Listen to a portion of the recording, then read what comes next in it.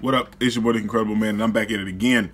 And this time, I just seen One Punch Man Season 2, Episode 10. Okay, and let's just talk about this, man. It's happening. All of the greatness that happened in the manga is happening, man. It's starting now. A lot of people was, you know, they was kind of iffy about last week's episode, man. You know, it's like because everything ha happened off camera, and um, I was talking to this other dude, and um, and we we were talking and going back and forth about the episode of last week's last week's episode, and um, he was like, well, he would have loved to see Watchdog Man versus Garou, and I think I think everybody would have loved to see that fight, man. That fight would have been absolutely fantastic because we only got the conclusion, man. I mean, we we just seen that Garou wasn't dead and Watchdog Man was unharmed at all, but I would have loved to see it happen. We we didn't we didn't see it happen, so it happened off off off screen. But it happened in a different panel in the manga. We didn't see it in the manga either. We just saw the end result like we did in anime. So, but you know, everybody was like, well, not everybody, but a couple people was like, you know, I didn't. Everything happened off camera. I mean, all of the good stuff happened off camera. I would like to see some of the stuff on camera. But like I told them, man, the goodness is coming. The greatness is here, man. It just started in this episode. Bad thing is though, I mean, it ended like right when it started to pick up. But next week's episode is gonna hit. It's gonna hit it, man. I'm telling you, as as from from a manga reader to an anime only watcher, man. You it's it's picking up. Just give it just a little bit more time because next week's episode is really going to pick up. Then you're going to be like, okay, wow, I see why the other stuff happened off panel and off camera, man. Because they needed to save the budget for the stuff that's coming up. The stuff that's coming up is huge, man.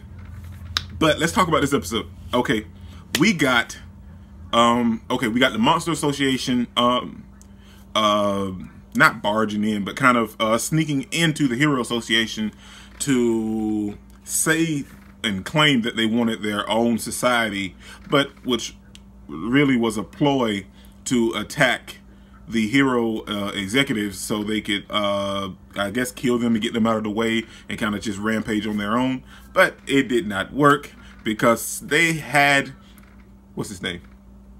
Uh, Black Luster, I think. I think that's his name. Anyway, Black, I think is is Black Luster, and um, he came in there and just defeated the monster like it was nothing. So dude, dude strong too. Dude strong too. But um, that happened. Um, I don't. know, This episode was it was very it was very mellow to begin with. We just got information and everything, and then at the end it kind of picked up. Um, we got uh, Metal Knight um, talking to the Child Emperor about you know let's not save the kid, which is wow, and they gave him a S rank uh, title, but let's not save the kid. Let's find out that since we know their location and find their hideout and stuff, and let's just nuke them. Dude, there's still a kid in there.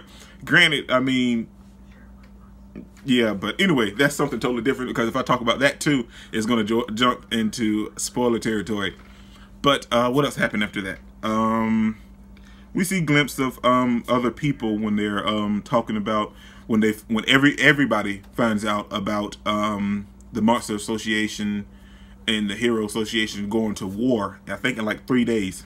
So we see Metal Bat in bed, and we see some of the hero, not heroes, some of the martial artists from the tournament um, in the hospital, you know, recuperating, and they're all a little, you know, the martial artists are a little traumatized and, and scared and wondering if the heroes could win. But I think that's all that, that really happened. It really wasn't nothing major.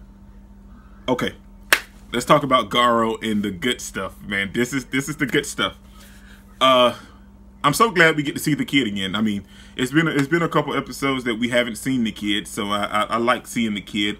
And when the kid comes around, we see a different side of Garou, man. We see a side of Garou that, um, in my opinion, we can easily uh, we can easily call him just Garou. He doesn't have to be the monster. I mean, the hero hunter at that point. When the kid's around, he's just Garou, man, because the kid always makes Garou doesn't really make him do. It, it, it, we just see a different side of Garou when the kid's around. But this episode, man, when the heroes surrounded him, he can feel like their intent when he was inside the building. And he came out and he started talking to them and stuff. And he was like, you guys aren't hero. And he decided to stay, stay in here and, and shut the door and protected the kid. Dude, scenes like that make Garou so likable, man. I know a lot of people may like him as just the hero hunter. It's like, oh well, he's he's attacking the hero, so that's. But I like him when he's just Garou, man. And he's and he's protecting the kid, and he doesn't really just. To me, man, to me, I don't know if anybody else feels like this, but to me, from this episode and and with him dealing with the kid and the stuff that he was saying towards the the heroes that was trying to attack him, Garou seems so much like Stain to me, man. Now, not a huge comparison, but because you know Stain actually killed people. Garou hasn't killed any anybody yet, but Stain actually killed people, and that's Stain comes from My Hero Academia. For all of those that don't know or haven't seen My Hero Academia, Stain is a is a is a villain from My Hero Academia, but they have such a comparison to me. You know, like Stain was still on that. Stain was on that same kick that Garou's on. That you know, like where he told those guys they, they aren't heroes because heroes don't do it for the money and the fame, man. And St and that was Stain Stain's whole whole thing. You know, like heroes don't do this for this for the money or the fame. They do it because they want to save people. And in that instance where he said that, he he just really kind of shined like Stain to me. But if I'm going to make that comparison, I also have to make the same comparison as that Saitama and Midoriya are kind of like the same. Saitama's in a rut right now, but before he joined the Hero Association, he was saving people all on his own, and that's what a hero done. He he didn't need the fame. He didn't he didn't he didn't um well first of all he didn't get any fame because they thought he was just a a, a, a hentai because he was running around saving people and not being a part of the Hero Association. But a hero doesn't need the fame or the power or the money to be to be a hero. And that's that was Stain's whole thing. And that's what and I feel like that's what Garou's giving off now. And that's what Midoriya felt like.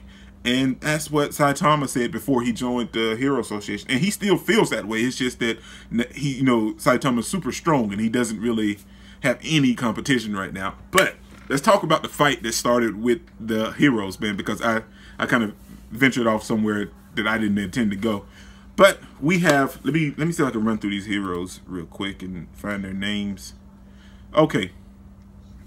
We have Class A rank 8 Death Gatling, Class A rank 10 Stinger. Then we have Class B rank 6 Wildhorn, Class A rank 27 Smile Man. We have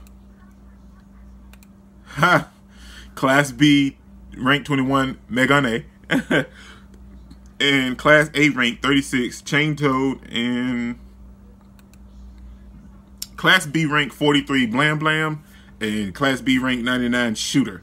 Now, these are some pretty strong heroes because they're all Class A and B rank. Now, they're rather whether if it's like high rank or low rank because you know we got like 99 and 43 and 6 and stuff so the, the, the numbers vary, but like they're pretty high class heroes because they're all A and B rank heroes.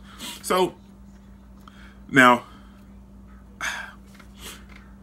from what we got in this episode, the fight scenes and everything, it was actually okay. I mean, we knew that it was gonna, we really wasn't gonna dive into a full fight at this moment because uh, it, we knew it was coming to an end. We had to we had to get all of the information that we we needed in um, in the earlier parts of the episode. So the ending was just a tease to the fight. But the moments that we got where Garou was diving and jumping straight at him, now they they kind of got the best of Garou so far. And I mean, and that's only because he was already injured and hurt.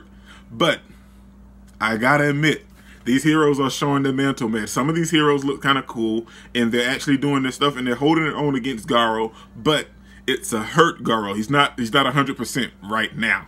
But man, I want to talk about it so much more, but if I do, it's going to jump into spoiler territory because I read the manga. So I'm not going to do that. I'm going to end it right here, man, because if I keep talking about it, it was a good fight though. It was it, so far it's a good fight, but if I keep talking about it, it's going to jump into spoiler territory, man, and I can't do that, man. But this is your boy Nick Incredible. Don't forget to smash that like button so you can't smash it anymore. Comment down below, and I'll be sure to respond to each and every one of them and subscribe, but only if you really want to, man. And remember that anime matters, anime is greatness, and anime is life, man. Peace out.